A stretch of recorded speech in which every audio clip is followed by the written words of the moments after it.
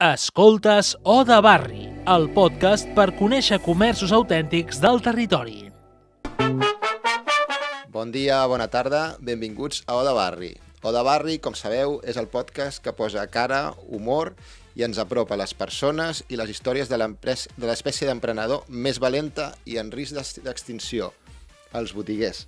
Coneixerem les nostres startups de barri, sense elevator speeds, unicornis o venture capital, que han aixecat negocis que aposten pel territori, el tracte pers personal, la qualitat i la originalitat. Són models únics i sostenibles que donen vida als nostres barris. I ara, a O de Barri, volem que tornin a estar de moda. Avui tenim el gust de comptar aquí amb nosaltres el Mariano, que és de, de Terrassa Bar, d'un comerç, un restaurant, eh, bar, bar-restaurant, amb música també, ara ens ho explicarà, eh, i li donarem una molt càlida benvinguda amb uns aplaudiments eh, enllaunats.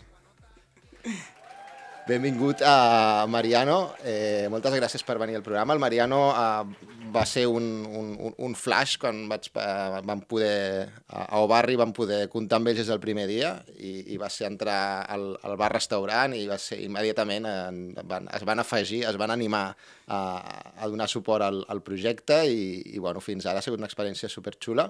Per això també volíem, volíem saber com una, el Mariano i el seu soci, no? que com se llama tu? Luciano. Luciano, uh, són argentins i han acabat amb un, amb un bar-restaurant que està, recordem, a la plaça del Pallol número 10, a tocar de la muralla. Sí. És un racó espectacular, sobretot a l'estiu, Sí. però a l'hivern també, perquè bueno, té el seu encant tot l'any, aquella zona, a tocar de la muralla, històric, eh, de pedra, vull dir, jo crec que realment el, el, el rincón, ¿verdad? És, és Es único. muy bonito, sí, sí. És muy bonico. Com, com, han acabat dos argentins amb un bar a Tarragona?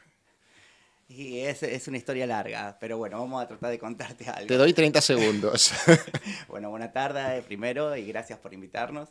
Eh, venimos acá por, por un contacto que teníamos en Argentina, de que ya había una chica que trabajaba en este restaurante eh, y bueno, gracias a contactos en comunes que teníamos, eh, hicieron que lleguemos a Tarragona, demos una vuelta, veamos un poco la ciudad y, de ahí surge la idea de, de poner un, bar, bar pub dentro de la ciudad Ujú. A todo esto justo nos agarra también la pandemia cuando estamos por, por empezar todo este proyecto, así que se retrasó unos un año más o menos el proyecto que luego comenzamos. Muy bien. Mira, esto me, va perfecte i et paro ja aquí perquè així dona entrada al, al nostre primer no? Que és vet aquí una vegada al Mariano. Molt bé. Uh, Mariano, explica'ns una mica qui ets, perquè has dit que, que vens d'Argentina a través de, del Boca Oreja, no?, que es diuen, Sí. de- d'una persona que t'anima a, a posar un restaurant, però com, com acabes tu a Tarragona i per què Tarragona? En realidad yo tengo mi familia que es de España, vamos y venimos todos los años. eh, no conocía Tarragona, siempre íbamos a Barcelona y alrededores, pero Tarragona nunca, nunca había, nunca vine a Tarragona. Ujú. Eh, y como te digo, de, de- de boca en boca nos, nos hicieron conocer este lugar. eh, vinimos un- con mi socio a verlo. eh, nos, nos gustó Tarragona por sus playas, la ciudad. eh, nos gustó toda la parte alta, que era lo que más nos, gust- Ujú. no- no- nos gustó, nos llamó mucho la atención. Y bueno, vimos una oportunidad, una oportunidad que se, que se nos dio y la quisimos aprovechar. Como te digo, estuvo media parada por el tema de, de la pandemia y recién ahora estamos arrancando de a poco con, con esta idea que teníamos desde hace tiempo. Cu- cu- Cuéntanos un poco, o sea, qui- ¿quién eres tú? ¿Qué has estudiado? ¿Cómo, es decir, porque bueno, he venido aquí, estaba por aquí paseando, pero ¿cómo, cómo decides abrir un bar? Es decir, ¿cuál, ¿has estudiado algo relacionado? ¿Has estado en el negocio de alimentación? Sí, o- nosotros estamos en la gastronomía de hace 15 años ya. Sí. En Argentina trabajamos en gastronomía. eh, yo empecé como ayudante de cocina, luego pasé a cocinero, luego pasé a encargado y de encargado fui dueño de un restaurante. Así que estuve por todas las áreas de la gastronomía, por Qué así bueno. decirlo. Eh, O sea, siempre tiene- me gustó, me sale como yo siempre digo. Y, y no Tienes un máster en, en el gastronómico, ¿no? Siempre digo que no lo veo como un trabajo, lo veo como Claro. algo que me, que me gusta hacer, eh, como Ajá. te pasará a vos también con un poco con esto, de, de que te- algo que te sale, que te sales Ujú. solo, eh, y lo hago desde muy chico, entonces algo que me gusta, me gusta eh, atender a la gente, que la gente se sienta como que está en su casa, que viene a pasar un buen rato, que me parece que también en la gastronomía es un poco eso, más allá de la comida, más allá de todo lo demás, es ir a pasar un buen rato a un lugar y, y nada. ¿Y el salto este de charco, co- en qué momento? Es decir, tú habéis tenido, entiendo que algún restaurante, al- algún bar Argentina, però el dir no, és el primer, és el primer negoci que tens a Espanya, entenc. Sí, es el primer negocio que tenemos en España. Eh, a ver, todo el mundo conoce un poco de, de Argentina y los problemas que hay allá con respecto a la economía. Eh, esto nos ayudaba a nosotros económicamente también, era un salto económico para poder hacerlo. Eh, era la- una oportunidad que, que nos surge. Como te digo, en Argentina, si bien la gastronomía funciona y demás, pero bueno, es, es un poco más complicado. Gran gastronomia a l'Argentina. Sí, hay, hay mucho. Te, Hay te, mucho. tenimos, con- con- coneixes bé, suposo, la gastronomia catalana? Eh, hay, hay diferencias y a la vez hay como cosas muy similares. Eh, Como te digo, hoy lo que nosotros estamos haciendo es más un bar con pequeñas cositas argentinas donde mezclamos un poco de, de esto catalán también, como un pan con tumaca, um, no sé, una tortilla, cositas, unas papas bravas, pero también tenemos un producto que es la empanada argentina, que sale muy bien y a la gente le gusta, que algo que también la gente conocía acá, no es algo ajeno, una Claro. empanada, que ya hace bastante que está. Pero bueno, tratamos de darle nuestro toque, nuestro enfoque a todo esto. Bueno, hay que decir que lo argentino, en general, a Cataluña té molt d'èxit sempre. Y tanto la comida como las personas. Es decir, no sé qué pasa con el acento argentino, que vamos todos locos aquí por el acento argentino. Eh, és inexplicable, bueno, és explicable, no? Lo, lo diferente no? sempre, sempre atrau. Sí. Uh, expli... Jo em vaig quedar amb una, amb una vegada, a més al- algun cop les hem sortejat de l'aplicació, eh, amb les patates braves, no, les patates terrasses. patatas diuen. terrazas, sí. ¿Qué- qué es tiene, eso? Tiene mejillones, un poco de picantillo. Con y lo de los mejillones yo me quedé un poco, me, me, me caí de culo cuando lo leí la primera Sí, vez. nosotros la- las patatas ya las pedimos eh, directamente, eh, vienen desde afuera, son unas patatas especiales que son un Sí. poco más anchas, más grandes, y eso tiene un poco de mejillones, picante y una salsita especial que hacemos nosotros para tirarle. Es bien de bermuteo, las. Espectaculars, Sí, sí. espectaculars. Molt bé, escolta, mira, això em- em dona, em dona peu a introduir el següent apartat, que és l'hora de la pandèmia. Molt bé, abans m'explicaves que, que vosaltres vau, vau adquirir el local, en- entenc, no?, que, que, que l'heu adquirit, o, bueno, suposo que eh, fa un parell d'anys, que hace dos anys, no? Sí, De- hace dos años. de- Però que no, no heu pogut obrir fins fa sis mesos, no, no habéis podido No empezar pudimos a por el funcionar. tema de pandemia. Nosotros cuando lo adquirimos empezó la pandemia al siguiente mes y tuvimos que tenerlo cerrado, primero porque estábamos en Barcelona Claro. y no podíamos pasar hacia Tarragona. Vale. Y luego cuando ya se abrieron, eh, que podíamos movernos, eh, recién empezamos a armarlo, el bar no era lo que es ahora, así que también hubo un proceso para todo eso y recién hace seis meses que tenemos abierto Muy bien. eh, al público y esperamos seguir abiertos de ahora en más eh, todo el año. La experiencia in pandèmia, no? Aquello que, com, com, ha, com ha sigut per vosaltres? Sí, más allá de la pandemia y todo, la gente la verdad que nos acompañó mucho. Sí. eh, tenemos ya nuestra clientela, como decimos en Argentina, Sí. fija, que eso es la gente del barrio, por así Claro. decirlo, o barrio va muy presente porque Sí. es la gente de barrio la que te apoya. Eh, sí, es verdad que ahora estamos viendo que hay un poco más de movimiento. Todo el mundo siempre nos dice, oh, Tarragona hay mucho movimiento, lo que era antes no es más lo que es ahora por todo esto de la pandemia, que Ujú. demás. Pero bueno, nosotros entramos en la pandemia, así que ahora recién estamos empezando a ver un poco el movimiento real que hay en la ciudad. Hasta ahora ha sido muy poco y muy tranquilo, pero bueno, la verdad que eh, tampoco nos podemos quejar. La verdad que estamos muy agradecidos de la ciudad y nos han acompañado y toda la gente nos ha acompañado de muy buena manera.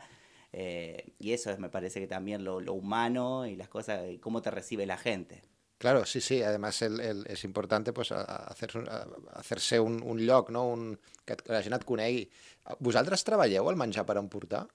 Eh, La comida para llevar? La, la Lo soléis... trabajamos en algún momento, ahora lo tenemos un poco parado, pero es algo a, a futuro que queríamos hacer. Claro, porque entiendo que de la, unas cosas que quizá durante la pandemia ha habido mucha gente que ha tomado ese camino, ¿no? Es decir, hay restaurantes que a lo mejor yo antes iba y ahora quiero que el restaurante venga a mí, ¿no? Sí, sí, tal cual.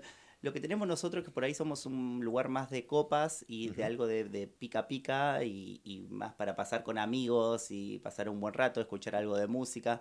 Por eso tampoco es que llegamos mucho a la casa, sino Vale. que el lugar es más para que vengan y tener esa experiencia. Claro, vale, porque es, bueno, eso, eso lo comentaremos luego. Yo ahora quería entrar en, en un tema que es muy recurrente, más ahora en, en- en el- en el- la situación actual, ¿no? Post pandemia, que es l'apartat del al món digital. Eh, bé, a Terrassa Bar té Instagram, que és arroba terrassa.bar, no? Sí. Si recordo bé, teniu uns quants followers, teniu 1.500 Sí, sí. followers. Sí, le empezamos a dar importancia hace poco también porque Sí. con todo esto estuvimos eh, más, más con otras cosas, haciendo otras cosas, y ahora estamos un poquito más en las redes sociales y demás, y de a poco Vale. vamos sumando cada vez más seguidores. Què, què feu a xarxes? És a dir, o, quines, què, què feu o què voleu fer a xarxes? Eh, ¿Cuáles son vuestras ideas? Mira, la idea principal del lugar es, como te Sí. digo, es tapas y música. Eh, esto bien. es acompañar las dos cosas, un poco de cultura, es lo que nosotros queremos, a todos los artistas, músicos, grafiteros, eh, DJs, lo que sea, queríamos incorporarlo dentro del Claro. bar, que haya un espacio también para ellos. Muy bien. Y todo eso, bueno, se vio parado un poco eh, Claro. co- con la pandemia. Ahora nuestra idea es poder avanzar con todo esto y en un futuro eh, tener esto, de que vos puedas ir al bar y, y encontrarte un jueves con jazz, un viernes que te encuentres con música tradicional, un sábado te encuentres con un DJ tocando, un poco es la idea del lugar. Esto se, se, se echa mucho en falta en Tarragona, realmente Esto es... es lo que me dice todo el mundo, Sí. pero bueno, hay que esperar un poquito. Pero más. en pandemia está claro que es un modelo que lo- ha habido muchos negocios que se dedicaron a esto que a lo mejor ya no están. Porque realmente el- salas de fiesta, música en directo, es, es- muy complicado y entiendo, claro, que al, al abrir vosotros no habéis podido hacer no? o portar a terme el que volíeu fer, no? que el que volíeu fer és aquell, volem fer música però no podem fer música, volem fer espectacle però no Sí. podem fer espectacle. Però bueno, esperem que ara, entenc que, que, que els pròxims mesos ja podeu, podeu fer una miqueta el, el, el vostre pla inicial. Però a, a, a nivell de digital, vosaltres teniu intenció de, per exemple, vendre entrades online, de... A ver, todo eso va a ir de la mano de acuerdo a cómo venga todo lo que nosotros hagamos con Muy bien. respecto a la música y los artistas. Eh, como te digo, todo se está hablando, hay que hablar con el ayuntamiento, hay que ver los nuevos permisos, las normas han cambiado, Claro. la forma de hacer las cosas han cambiado mucho. Eh, también mi idea está traer auriculares donde vos te pones el auricular, el DJ puede pasar música, pero se escucha solamente el auricular y así también no molestar al vecino. Hay, hay varias ideas, más allá de, de- de las redes sociales y, poder, po- poder hacer más cosas. eh, necesitamos tiempo eh, y, lamentablemente claro. con esto de la pandemia nos ha atrasado bastante las ideas que nosotros teníamos. Claro. Pero lo, lo de los auriculares es, es interesante. Lo, yo, yo sé que se ha hecho esto, es, eh, lo, que no, no- lo que no conozco sitios donde todavía lo hagan. Es Sí, decir, se llaman Silent Party. eh, son Vale. fiestas eh, donde un DJ pasa música, Sí. los auriculares tienen tres canales, donde puede estar pasando tres tipos de, de Ah, música diferente y eh, son con Bluetooth. Esto vos podés Claro. estar dentro del local o irte hacia afuera a la terraza y nada, pasar un buen rato, no molestando. La idea también eh, con esto que va justo con la pandemia es no molestar al vecino, tratar de respetar también un poco las, las normativas del Claro. barrio. eh, y va muy bien, va muy bien para hacerlo en la playa, para hacerlo en un bar, para hacerlo en- en- en donde, donde vos quieras. Es genial, es genial. Eh, mira, esto me da un poco pie a entrar a la siguiente sección, que yo le llamo futuroscopia, es un poco la bola de cristal. Quería saber, eh, Mariano, si te coges una, lo que decía, la bolita de cristal, d'aquí 5 anys, tu on et veus? Si fem un... a futur, eh? Vull dir, Difícil ver el futuro, pero... on vols estar, tu? Y quisiéramos poder seguir aquí en España, la verdad que lo que nosotros queríamos es poder hacer un negocio, no solamente uno, sino que esto sea un, un paso para hacer otras cosas. Como te digo, venimos a la gastronomía de hace mucho tiempo y ojalá acá podamos demostrar lo que venimos haciendo en la Argentina, que tampoco mal nos ha ido. Eh, creo que es un camino difícil, recién estamos entrando en el lugar, estamos aprendiendo el idioma, estamos Claro. aprendiendo un poco la- lo que quiere la gente, eh, pero de acá a un tiempo la idea es eh, afianzarnos en lo que hacemos y, y poder generar más, si, si se puede. Un local, varios locals... Ojalá varios locales. Sí, sí, sí. estamos hablando a futuro con la bola de cristal, le, puede- le podemos pedir lo que nos queramos. encantaría- nos encantaría un lugar en la playa. Eh, bien. Nosotros tenemos en Argentina locales en la playa, por eso a lo mejor también la idea es un poco seguir con eso. Vale. Eh, tenemos esta impronta un poco de ser un poco eh, menos estructurado y ser un poco más suelto, entonces nos gusta esto, un poco de mezclar la música con la comida y hacer esto. Y bueno, la idea es sí, poder hacerlo en un futuro y donde podamos. La verdad Mira, que- qui- quizá pueda, pueda resolver un, un dubte que jo tinc de, des de fa... Jo visc a Tarragona ja fa bastants anys. Jo soc de Barcelona, no soc de Tarragona. No, no sé si està bé que ho digui o no. Eh, pero luego a lo mejor me echan, ¿no? Me echan del programa. Eh, pero realmente tengo una duda y es que en Tarragona, en la playa, Sí. no hay nada. Es decir, No, no hay nada. ¿no? Y yo, yo no entiendo cómo te vas fuera de Tarragona y en la playa hay chiringuitos, te vas hacia Cambrils y hay incluso escuela de windsurf, Sí, sí, sí. pero vas a Tarragona, la playa que tenemos urbana, que sería una un espacio espectacular, y no hay nada. ¿Habéis investigado vosotros por qué eso es así? Mira, en Tarragona no, no vimos nada, ¿sí? Hace poco sé que en Cambril eh, hicieron los chiringos de playa y hicieron como eh, ¿Sí? nuevos chiringos de playa para que uno pueda ocupar, pero aquí en Tarragona todavía no nos hemos enterado de nada, por lo menos nosotros no sabemos nada. Ojalá en algún momento eso surja. Sé que hay algunos lugares, Claro. eh, no sobre la playa, sino sobre un poquito más cerca, pero es verdad que no, no hay nada activo hoy por hoy en las playas. eh. En Cambrils hay Win Cambrils, no sé si lo conoces. Sí, Cambril he ido, hay escuela de, de surf, paddle surf, de, de sub. Sí, pero en Win Cambrils tiene un bar, es un bar, es un chiringuito que da en la playa, donde, Ah, no, donde no, no. alquilan windsurf eh, y, y hacen paddle surf y todo eso, que además es, es bar musical y en verano hace muchos conciertos. Entonces, quizá te sirva un poco de referente. Yo, yo realmente espero que, que yo os animo a que abráis un sitio como ese aquí en Tarragona, Ojalá. porque de- no, no, no quiero tener que, tener que tenerme que coger el coche y, y hacer 15 kilómetros teniendo una ciudad tan espectacular como la que No, y tenemos que aquí. también muy- muchos amigos nos dicen, muchos se van a bailar a Salou, van a, Claro. van a Reus, eh, se mueven por aquí cerca y a veces eso hasta es peligroso, ¿viste? Salir a bailar de Sí, noche claro. con el auto y demás. Ojalá, ojalá podamos hacer muchas cosas en Tarragona. Como te digo, la ciudad no, no- nos ha abierto sus puertas de la mejor manera y podemos nosotros eh, darle algo también por nuestro lado. Seria, seria genial. Eh, mira, entro una de les seccions preferides, que, bueno, jo li dic les preguntes indecents. Eh, sempre pregunto als emprenedors que tenim, tinc, tinc la sort, o tenim el privilegi de que molts emprenedors que han vingut aquí al programa o de barri um, són persones que han començat el seu negoci fa poc, i inclús molts d'ells durant la pandèmia, sorpresivament. Uh, sempre els dic el mateix, ho tornaries a fer? Si yo torna, eh, ¿Volverías ¿volvería a a hacerlo? Sí, sí, sí. Hay gente que m'ha dit que no, eh? No, no, lo, lo volvería a hacer. Me parece que fue, eh, es, eh, eh, me- siempre me ha gustado emprender cosas nuevas, me, me gusta esto de viajar, de estar en un lugar que no, que no conoces, descubriendo cosas todo el tiempo, que eso es un poco lo que me pasa, que Tarragona Claro. yo voy descubriendo cosas, de, de playa, calles, lugares, gente. eh, Y eso es lo que, lo que me estimula a mí para poder seguir haciendo cosas. Y sí, lo volvería a hacer, seguro. Genial, me gusta que las respuestas sean firmes y contundentes. Otra cosa que siempre pregunto, puedes contestar o no contestar, eh, ¿cuadra o no cuadra la caja?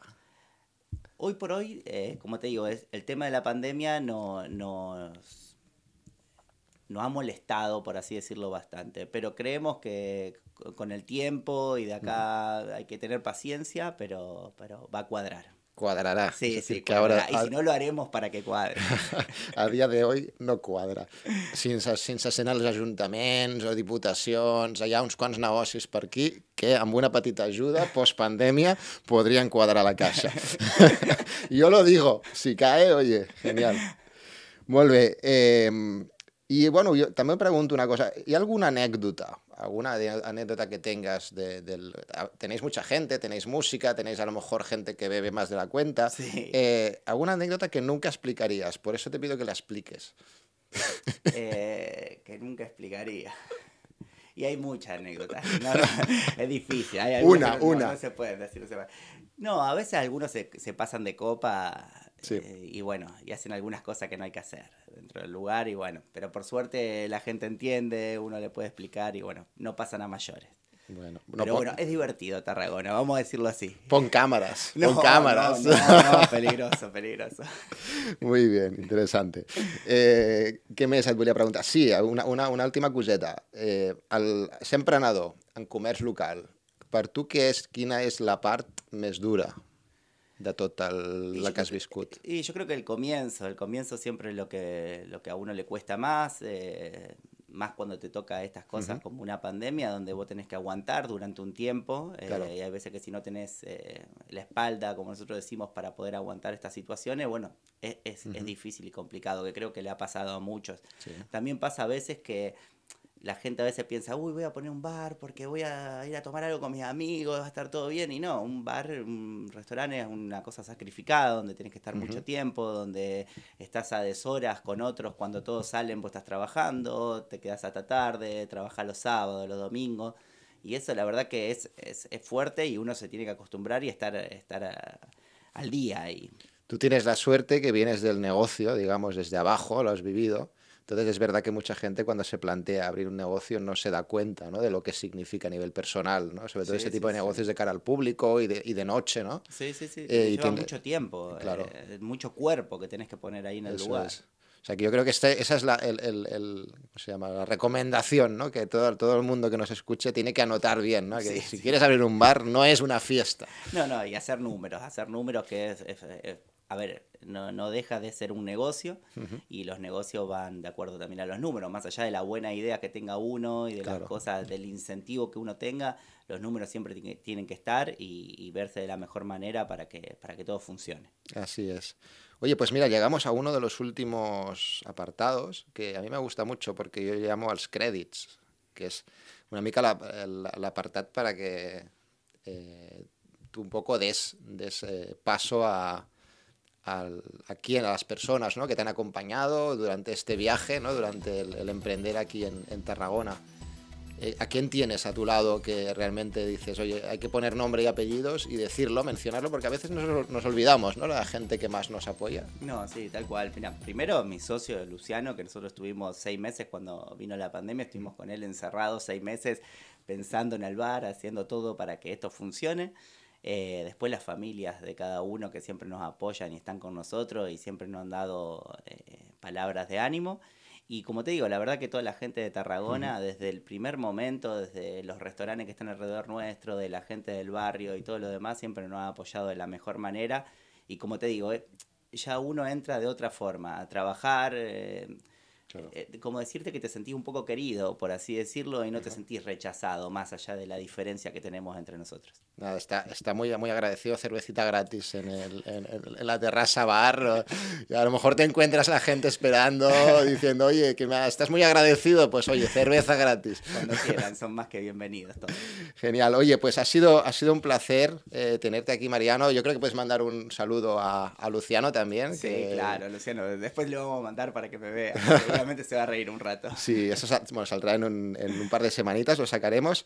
Ha sido un placer. Recordamos, eh, Terrassa Bar està a tocar de la Porta de la Muralla, no? a la plaça del Pallol número 10. Número 10. El espe- el espai és espectacular, el proyecto es espectacular, la música, las tapas, la expansión que van a hacer, que nos ha contado, hacia la playa de Tarragona, donde tendremos por fin un sitio donde irnos de fiesta sin salir de la ciudad en verano, también va a ser espectacular. Así que muchas gracias por contarnos un poco cómo habéis terminado aquí.